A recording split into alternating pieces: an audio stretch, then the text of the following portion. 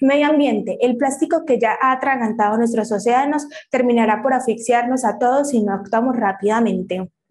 La contaminación causada por los plásticos en los ecosistemas acuáticos ha crecido considerablemente en los últimos años y se prevé que se duplique para 2030, con consecuencias nefastas para la salud, la economía, la biodiversidad y el clima, según un nuevo informe de la ONU, que advierte que el reciclaje no es suficiente y denuncia las falsas soluciones que se están dando frente a este problema.